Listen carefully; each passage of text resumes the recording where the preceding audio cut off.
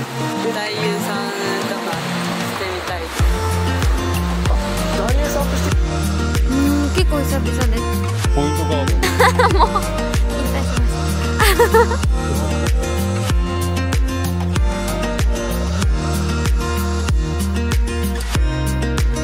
たきんぴらごんとか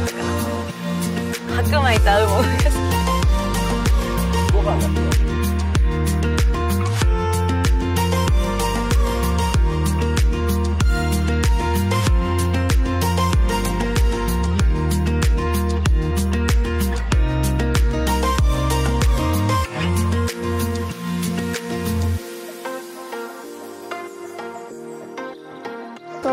ポニーテールはなんでポニーテールにしたんですか？こうした方が舐めやすいかなって思って。